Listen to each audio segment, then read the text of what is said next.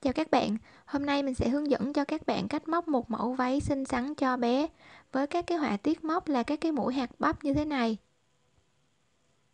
Ở phía sau thì chúng ta móc thêm hai sợi dây đang chéo, có cái họa tiết bèo ở đây, đang chéo như thế này.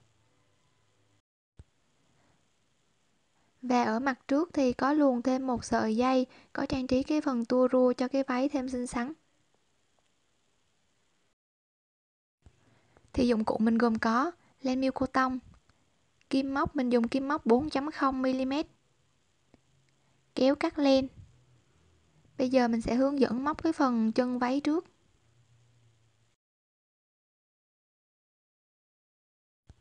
Đầu tiên các bạn tạo cho mình một nút.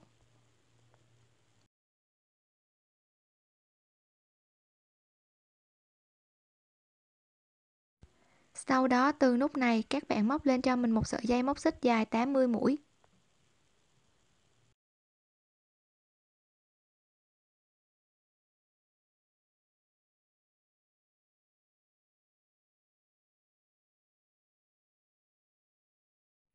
Thì sau khi móc được dây móc xích dài 80 mũi, các bạn móc lên cho mình 3 mũi móc xích ở đây. Các bạn móc lên 3 mũi móc xích.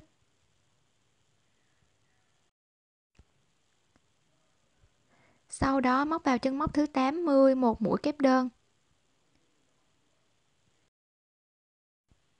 Móc vào chân kế bên một mũi kép đơn. Chân kế tiếp móc một mũi kép đơn. Tương tự chân kế bên cũng một mũi kép đơn.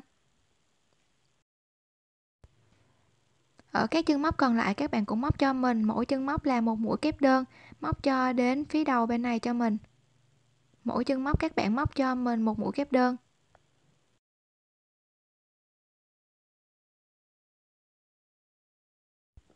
Thì sau khi móc đến cuối hàng, các chân móc, mỗi chân móc là một mũi kép đơn đến cuối hàng. Thì các bạn móc vào cái chân móc bên này cho mình, ở cái đầu dây bên này. Các bạn móc vào cái chân móc đầu tiên này cho mình móc vào đây một mũi dời. Sau đó móc lên hai mũi móc xích. Ở cái mũi móc đầu tiên, các bạn móc cho mình một cái mũi ngoặt ngoài vào cái thân chân móc này. Các bạn móc đâm kim như thế này cho mình. Sau đó móc và kéo len qua hết các cái mũi móc trên kim. Chân kế bên móc một mũi kép đơn vào chân móc này. Tiếp tục chân bên cạnh móc vào thân chân móc này, móc cho mình một mũi ngoặt ngoài. Chân kế bên móc một mũi kép đơn vào chân móc này. Tiếp tục chân kế bên móc một mũi ngoặt ngoài vào thân chân móc này. Các bạn đâm kim xuống phía dưới, sau đó luồn và đâm kim vào phía trên. Cái thân chân móc này nó sẽ nằm ở trên kim. Các bạn móc và kéo len qua hết chân móc trên kim. Các bạn cứ móc xen kẽ các cái mũi móc này cho đến cuối hàng cho mình cũng móc một mũi kép đơn vào chân móc. Và một mũi kép đơn vào thân chân móc, tức là mũi ngoặt ngoài.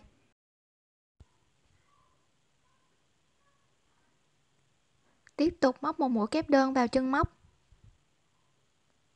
Sau đó một mũi ngoặt ngoài vào thân chân móc.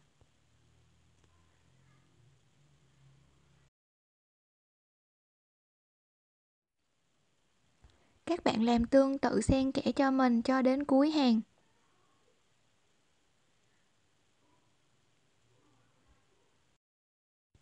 Sau khi móc được các mũi móc xen kẽ cho đến cuối hàng, thì cái phần ờ, thắt lưng của chúng ta đã được hai hàng móc như thế này. Các bạn móc vào cái chân móc bên cạnh này, móc vào đây cho mình một mũi dời.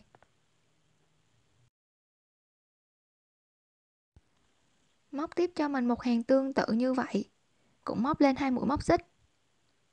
Sau đó móc vào chân móc đầu tiên một mũi ngoặt ngoài vào thân chân móc này. Vào cái thân chân móc ngoặt ngoài này, móc vào đây cho mình một mũi ngoặt ngoài.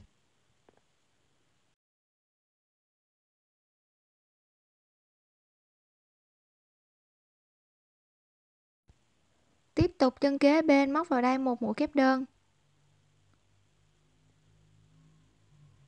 Sau đó chân bên cạnh móc cho mình một mũi ngoặt ngoài vào thân chân móc ngoặt ngoài ở phía trên.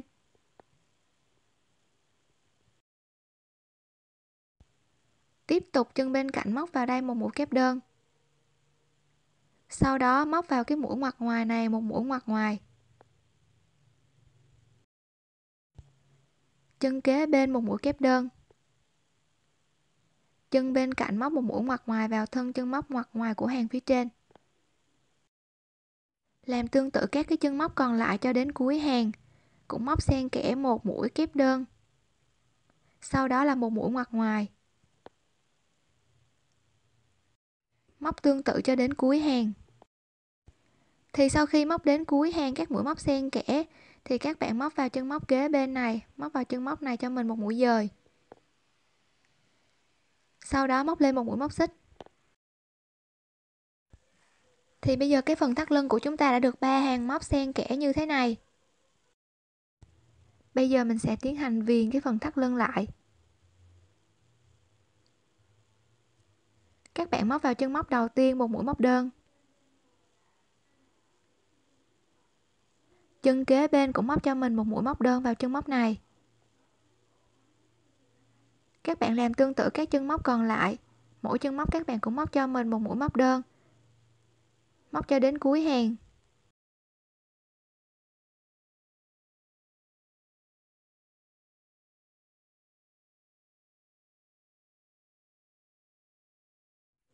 Sau khi móc đến cuối hàng các mũi móc đơn, các bạn móc vào cái chân móc đầu tiên bên này, móc vào đây cho mình một mũi dời. Bây giờ mình sẽ hướng dẫn móc cái phần chân váy xòe ở bên dưới. Các bạn móc lên cho mình hai mũi móc xích sau đó móc vào chân móc đầu tiên một mũi kép đơn. Tiếp tục móc vào chân kế bên một mũi kép đơn. Chân kế tiếp móc cho mình hai mũi kép đơn vào chân móc này.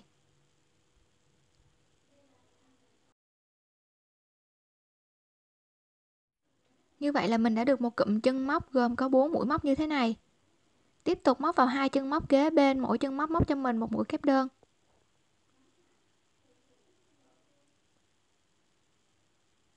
Chân bên cạnh móc hai mũi kép đơn cùng chân.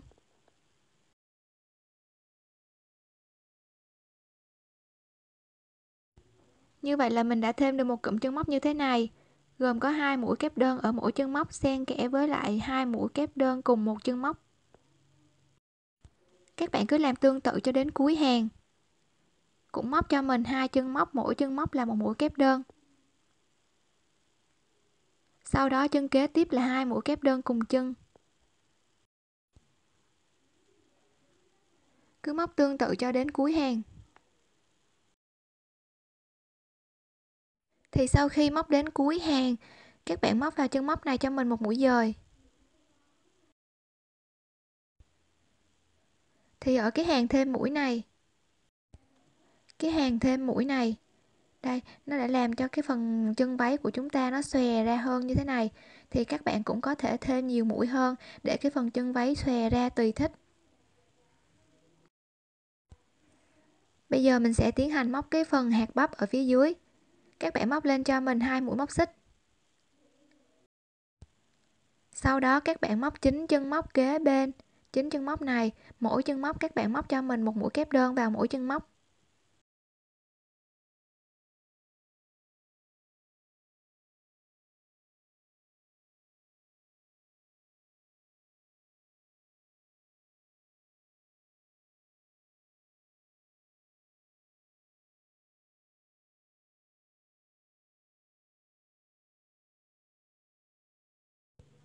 Thì sau khi móc được chín mũi móc đơn ở chính chân móc như thế này, ở cái chân móc thứ 10 các bạn móc cho mình một hạt bắp.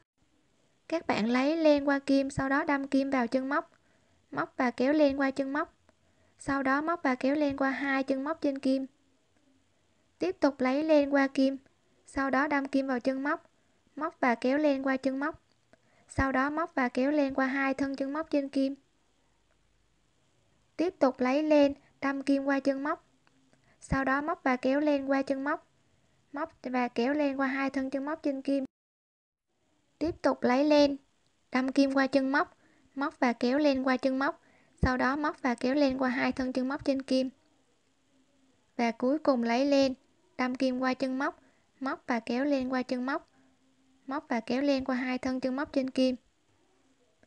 Như vậy thì trên kim của chúng ta đã được 6 cái thân chân móc như thế này. Các bạn lấy len, sau đó móc hết qua 6 cái thân chân móc ở trên kim. Như vậy là mình đã hoàn thành được một hạt bắp như thế này. Các bạn móc vào cái chân móc kế bên một mũi kép đơn. Móc vào chân móc này một mũi kép đơn.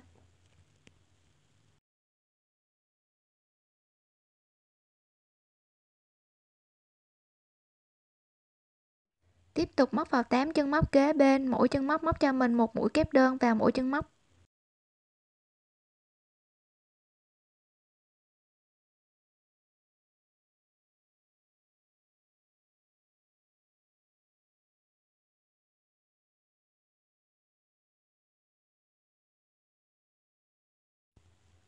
Thì sau khi móc được 9 mũi móc như thế này, các bạn tiếp tục móc vào cái mũi móc tiếp theo móc vào đây cho mình một hạt bắp giống như cái hạt bắp ở phía bên này.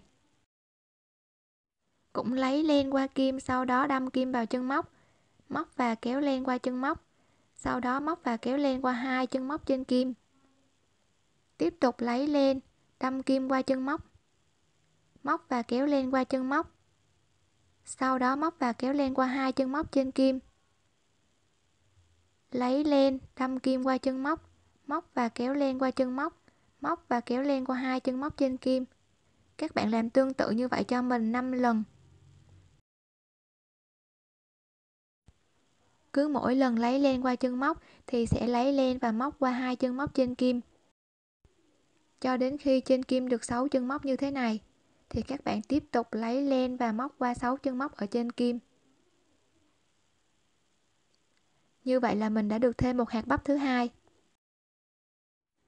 Các bạn tiếp tục móc 9 chân móc kế bên, mỗi chân móc là một mũi kép đơn.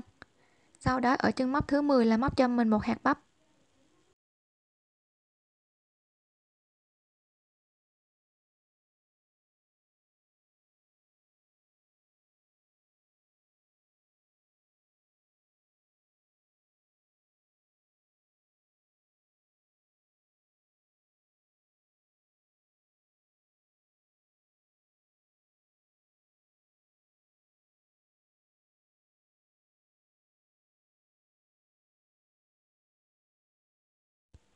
Thì sau khi móc được 9 mũi kép đơn, móc vào cái chân móc thứ 10 một hạt bắp. Các bạn cũng làm tương tự các cái hạt bắp như phía bên kia. Các bạn cũng đâm kim qua chân móc 5 lần cho mình. 1 2 3 4 và 5 sau đó lấy len qua kim và móc vào hết 6 chân móc ở trên kim.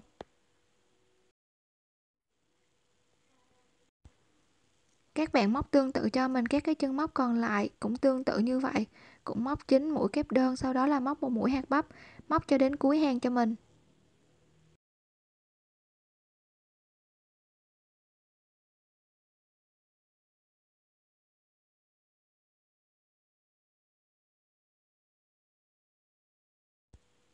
Thì sau khi móc đến cuối hàng, ở cái mũi móc cuối cùng là một mũi hạt bắp. Các bạn móc vào chân móc này cho mình một mũi dời. Sau đó móc lên hai mũi móc xích.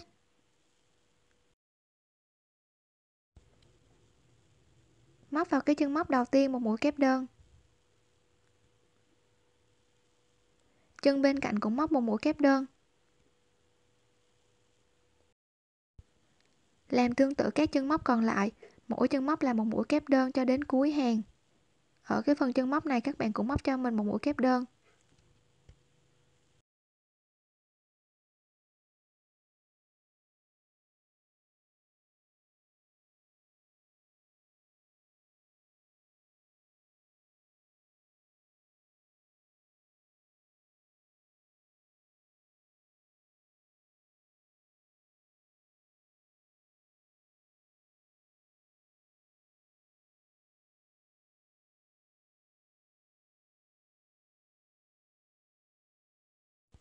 Ở đây là cái chân móc của mũi hạt bắp, móc vào đây một mũi kép đơn. Tiếp tục móc một mũi kép đơn vào cái chân ở phía sau của cái hạt bắp. Làm tương tự các cái chân móc còn lại cho đến cuối hàng cho mình. Mỗi chân móc các bạn móc cho mình một mũi kép đơn.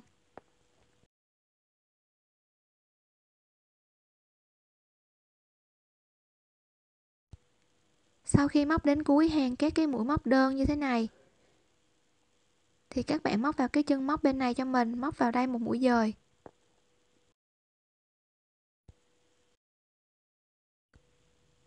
Sau đó móc lên hai mũi móc xích. Móc vào chân móc đầu tiên một mũi kép đơn. Chân kế bên cũng móc một mũi kép đơn. Ở cái hàng này các bạn làm tương tự cho mình giống như cái hàng ở phía trên. Mỗi chân móc sẽ móc một mũi kép đơn vào mỗi chân móc móc cho đến cuối hàng.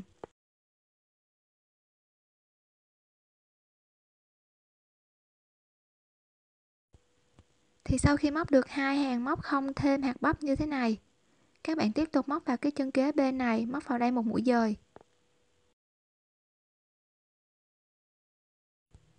Bây giờ mình sẽ tiến hành móc thêm một hàng hạt bắp. Các bạn móc lên hai mũi móc xích bốn chân móc kế bên, mỗi chân móc móc cho mình một mũi kép đơn vào mỗi chân móc.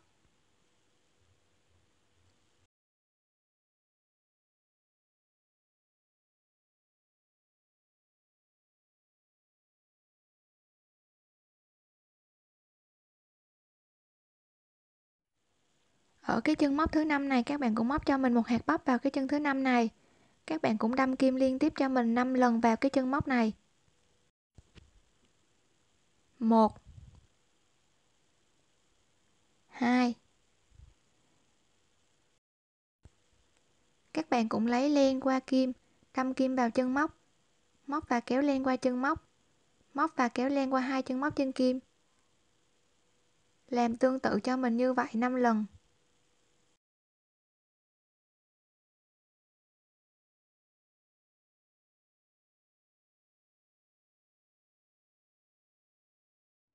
Thì lúc này trên kim có 6 cái chân móc như thế này.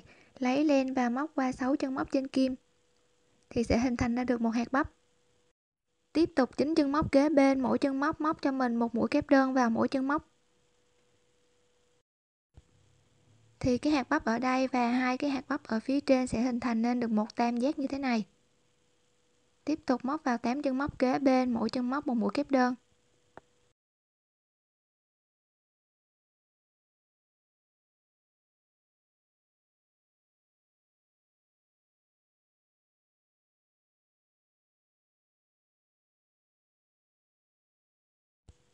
Thì sau khi móc được 9 mũi khép đơn thế này, móc tiếp vào cái chân móc thứ 10 một hạt bắp.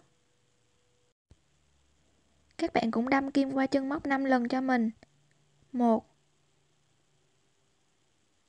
2 3 4 và 5 thì lúc này trên kim sẽ hình thành nên 6 mũi móc. Móc và kéo len qua hết 6 mũi móc trên kim. Các bạn móc tương tự các cái cụm chân móc như thế này, móc cho đến cuối hàng cho mình. Cũng móc 9 chân móc, mỗi chân móc là một mũi kép đơn, sau đó là một mũi hạt bắp cho đến cuối hàng.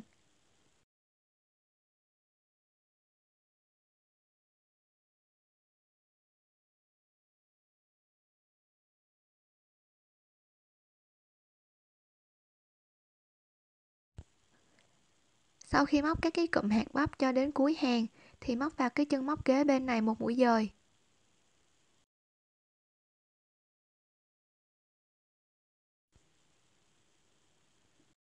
Sau đó móc lên hai mũi móc xích. Thì ở hai hàng móc tiếp theo, các bạn cũng móc cho mình hai hàng móc tương tự như hai hàng móc này. Cũng móc mỗi chân móc là một mũi kép đơn và không thêm mũi hạt bắp.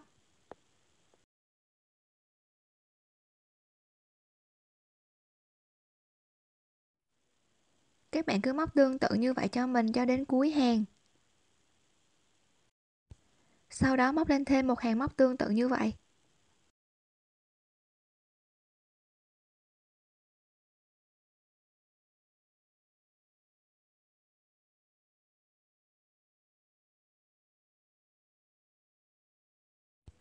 Thì sau khi móc được hai hàng móc, các mũi kép đơn như thế này, móc vào cái chân móc bên này cho mình một mũi dời móc vào chân móc này một mũi dời.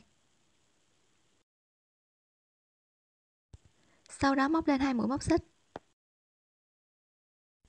Thì ở hàng móc tiếp theo, mình sẽ móc tiếp một hàng hạt bắp giống như hàng trên này. Sau đó là hai hàng móc kép đơn.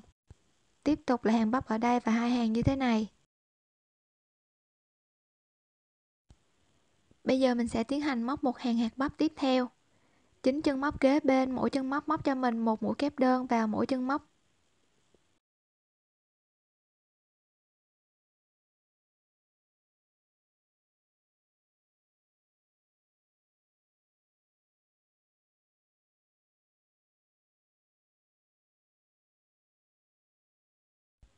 Sau khi móc được 9 mũi kép đơn, móc vào chân móc thứ 10 một mũi hạt bắp giống như cái hạt bắp phía trên các bạn cũng đâm kim qua chân móc 5 lần cho mình.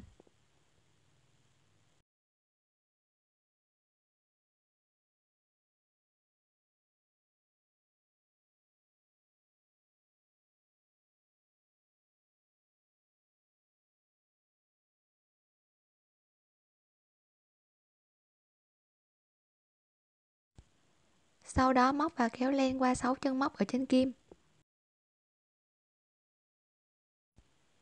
Tiếp tục móc vào chính chân móc kế bên, mỗi chân móc là một mũi kép đơn.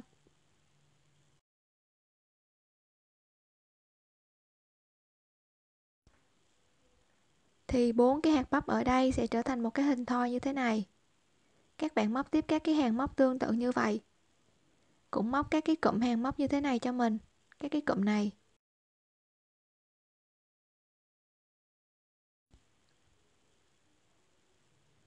Thì các bạn cứ móc tiếp tục các cái hàng móc như thế này cho mình. Cho đến khi cái chiều dài của cái thân váy vừa với cái phần đầu gối của bé cũng móc cho mình xen kẽ các cái hạt bắp thành một cái hình thoi thì sau khi móc các cái hàng móc cho đến cái kích thước vừa ý, thì bây giờ mình sẽ hướng dẫn cho các bạn móc cái phần viền ở phía dưới.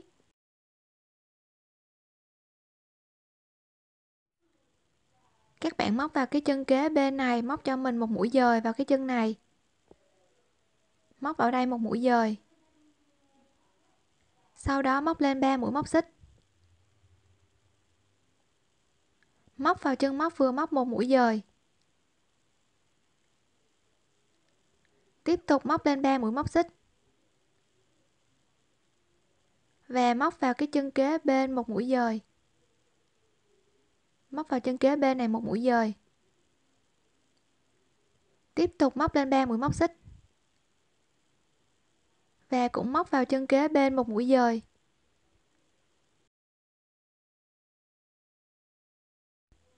Lên 3 mũi móc xích.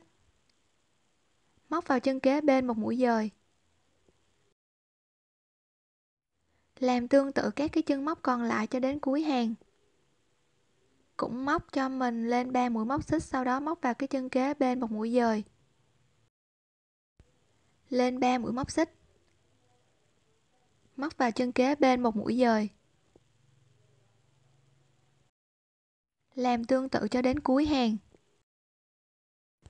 Móc lên 3 mũi móc xích. Sau đó móc vào cái chân móc kế bên một mũi dời. Thì sau khi móc đến cuối hàng như thế này các bạn móc tiếp cho mình vào cái chân cuối cùng này một mũi dời. Sau đó móc lên một mũi móc xích. Kéo và cắt len.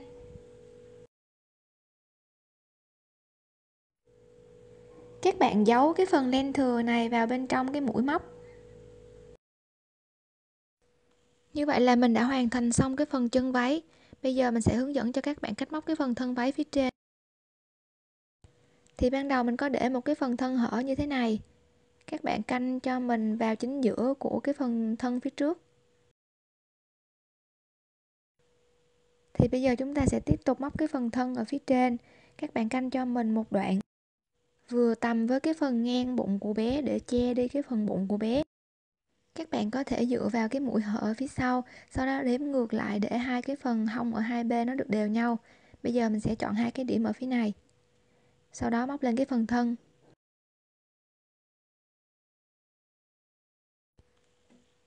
Bây giờ mình sẽ tiến hành nối len để móc lên cái phần thân váy.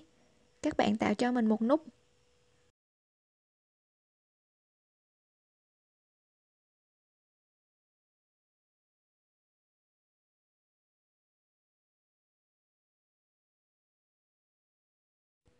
Sau đó từ cái nút này, các bạn luồn qua cái chân móc bên này cho mình, chân móc đầu tiên này.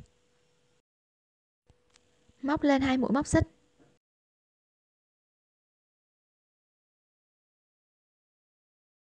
Sau đó móc vào cái chân kế bên một mũi kép đơn.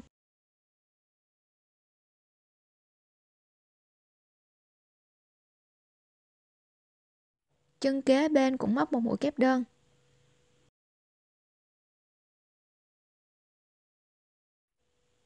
Chân bên cạnh móc một mũi kép đơn.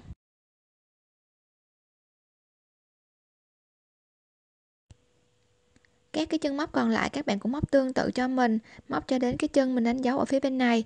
Mỗi chân móc các bạn móc cho mình một mũi kép đơn vào mỗi chân móc.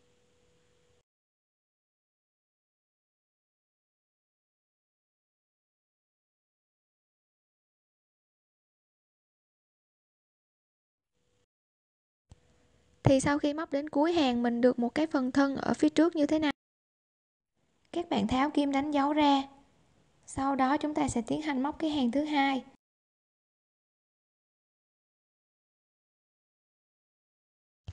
Thì ở cái hàng tiếp theo này, mình sẽ móc một cái hàng hạt bắp, gồm có 3 hạt bắp xen kẽ với các cái mũi kép đơn ở đây. Bạn móc lên hai mũi móc xích sau đó, ba chân móc kế bên, mỗi chân móc các bạn móc một mũi kép đơn vào mỗi chân móc.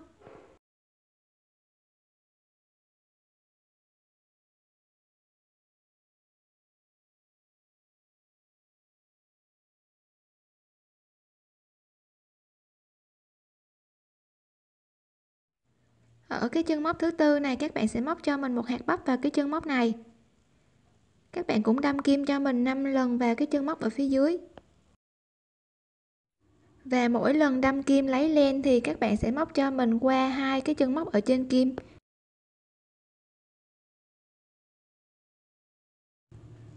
Thì lúc này trên kim có 6 chân móc như thế này, các bạn lấy len và luồn qua hết các cái chân móc trên kim cho mình. Tiếp tục 7 chân móc kế tiếp, mỗi chân móc móc cho mình một mũi kép đơn vào mỗi chân móc.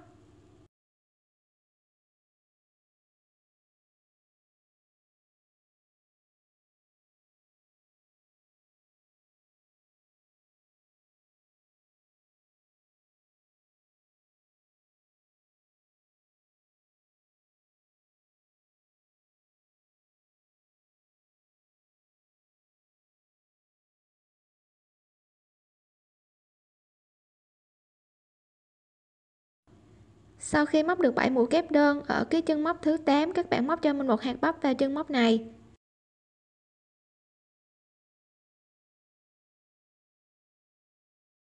Làm tương tự các cái hạt bắp mà mình đã hướng dẫn ở phía trước.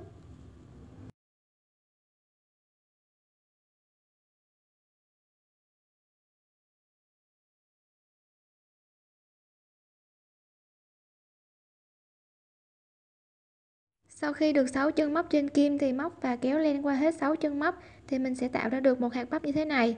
Các bạn làm tương tự 7 chân móc kế tiếp, mỗi chân móc móc một mũi kép đơn vào mỗi chân móc.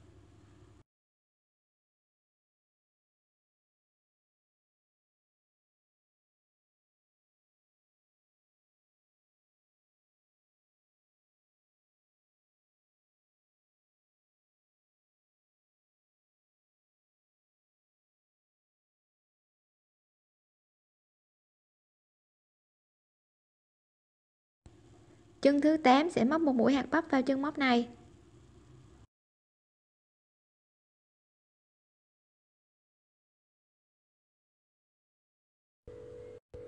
Các bạn cũng đâm kim qua chân móc 5 lần. Mỗi lần đâm kim thì lấy len và móc qua hai cái chân móc ở trên kim. Cho đến khi trên kim được 6 chân móc thì móc và kéo len qua hết 6 chân móc trên kim. Còn lại hai chân móc cuối cùng, mỗi chân móc móc một mũi kép đơn.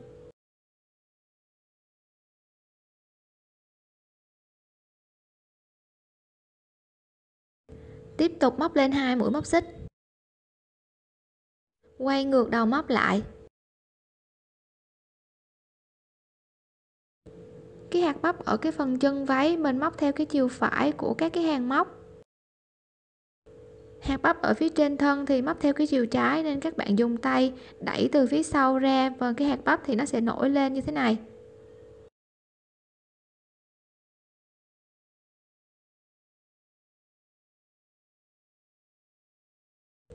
Tiếp tục các bạn móc lên cho mình hai mũi móc xích.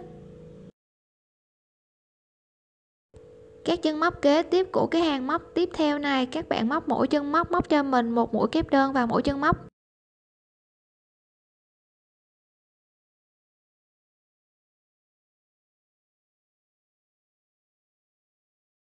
Các bạn cứ móc tương tự như vậy cho mình cho đến cuối hàng.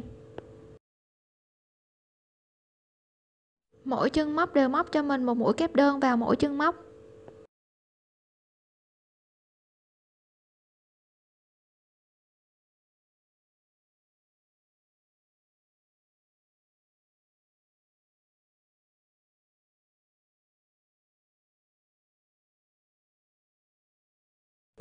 Sau khi móc đến cuối hàng, các bạn tiếp tục móc lên cho mình hai mũi móc xích.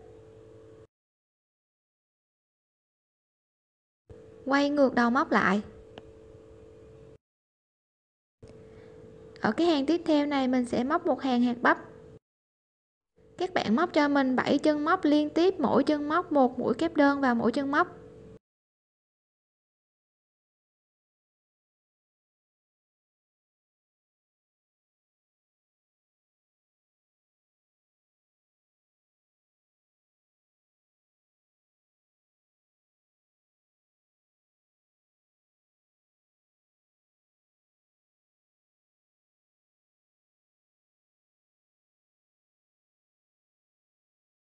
Thì sau khi móc được 7 mũi kép đơn như thế này, ở cái chân móc thứ 8 các bạn sẽ móc cho mình một hạt bắp ở đây.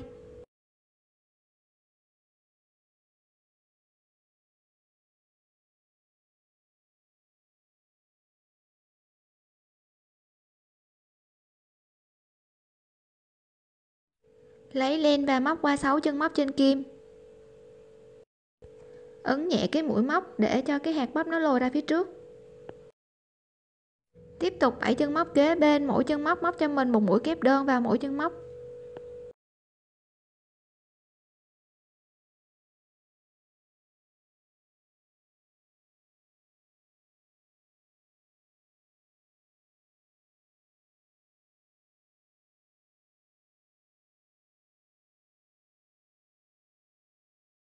Thì ở cái chân móc thứ 8 này cũng móc cho mình một hạt bắp vào cái chân móc này.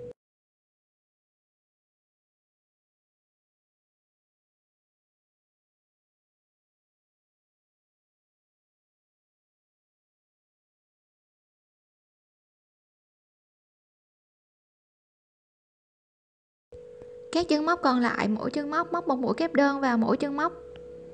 Móc cho đến cuối hàng.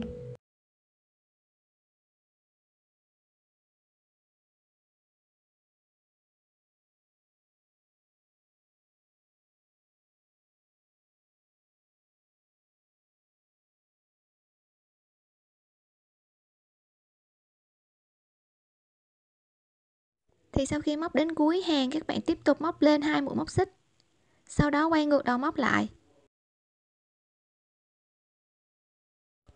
Thì hai cái hạt bắp mà mình mới vừa móc nó sẽ nằm ở chính giữa ba cái hạt bắp ở hàng phía dưới. Các bạn tiếp tục móc lên cái hàng tiếp theo cho mình. Ở cái hàng này thì móc cho mình, mỗi chân móc là một mũi kép đơn móc cho đến cuối hàng, giống như là cái hàng thứ ba ở phía dưới. Các cái hàng móc tiếp theo thì các bạn cũng làm tương tự xen kẽ cho mình, giống như các cái hàng móc ở phía dưới. Bây giờ mình sẽ tiến hành móc cái hàng tiếp theo này. Mỗi chân móc đều móc cho mình một mũi kép đơn và không thêm mũi hạt bắp.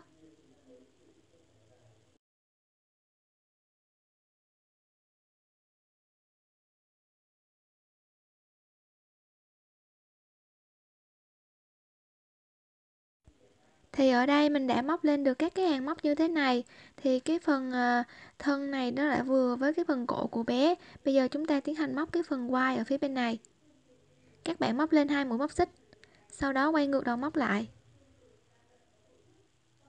Các bạn móc vào bốn chân móc kế bên này. Bốn chân các bạn móc cho mình, mỗi chân móc là một mũi kép đơn.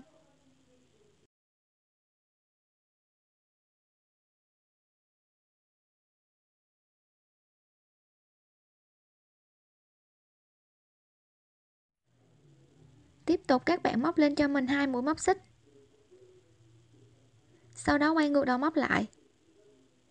Cũng móc vào bốn chân móc này, mỗi chân móc móc cho mình một mũi kép đơn vào mỗi chân móc.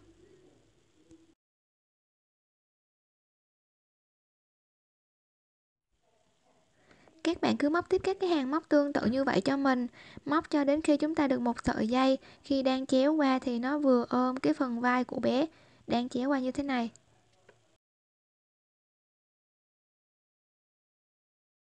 Cũng móc mỗi hàng móc là 4 mũi kép đơn ở mỗi hàng móc. Thì ở đây mình đã móc lên được một sợi dây, dài 23 hàng móc.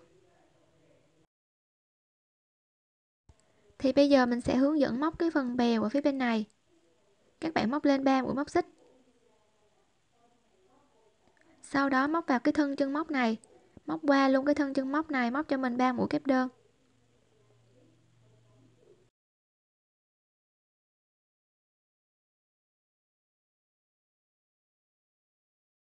Tương tự làm với cái thân chân móc của cái hàng kế bên là cái thân móc xích này. Móc vào đây 3 mũi kép đơn vào cái thân móc xích này.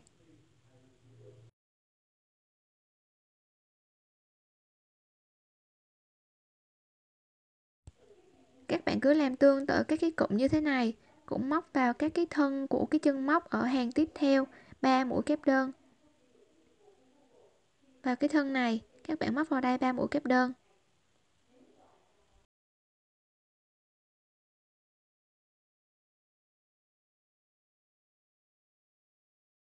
Ở cái hàng móc này thì móc vào cái thân móc xích. Móc vào thân móc xích 3 mũi kép đơn.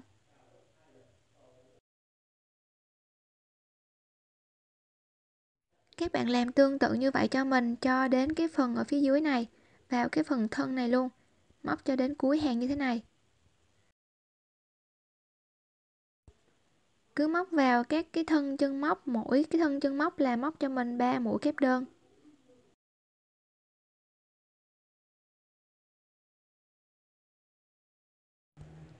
Thì sau khi móc đến cuối hàng được các cái mũi móc như thế này, thì bây giờ mình sẽ tiến hành móc cái phần bèo ở phía ngoài. Đây, ở đây mình đã móc được tới cái phần thân phía dưới. Thì bây giờ tiếp tục móc cái phần bèo ở phía ngoài của dây. Các bạn móc lên cho mình hai mũi móc xích. Sau đó móc vào chân móc đầu tiên một mũi kép đơn móc vào đây một mũi kép đơn. Tiếp tục chân kế bên cũng móc một mũi kép đơn vào chân móc này. Ở cái chân móc thứ ba, các bạn móc cho mình ở cái chân móc này hai mũi kép đơn vào cùng một chân móc. Thì bây giờ mình được một cụm chân móc, gồm có 4 mũi móc như thế này. Các bạn tiếp tục móc cho mình cái cụm này ở các cái mũi móc tiếp theo móc vào hai chân móc kế bên, mỗi chân móc móc cho mình một mũi kép đơn.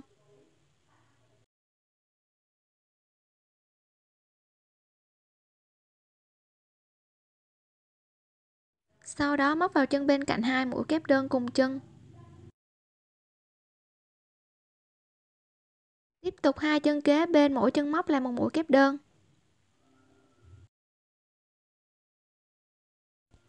Chân kế bên là hai mũi kép đơn cùng chân.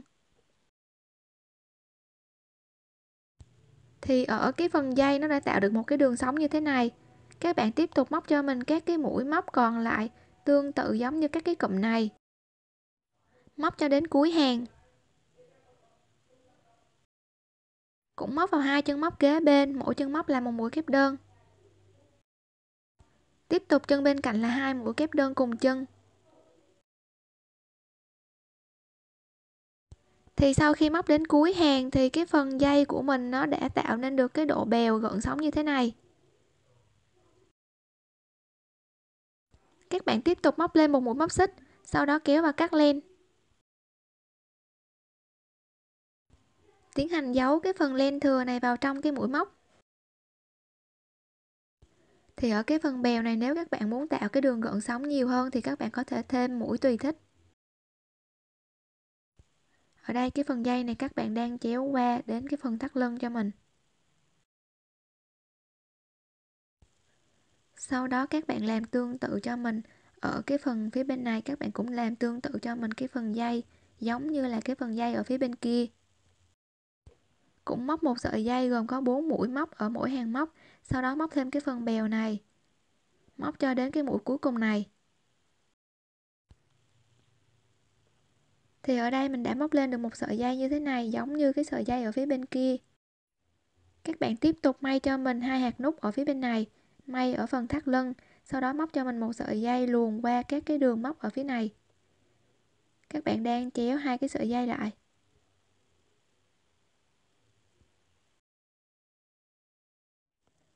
Thì cái mặt sau nó sẽ có cái hình dạng như thế này.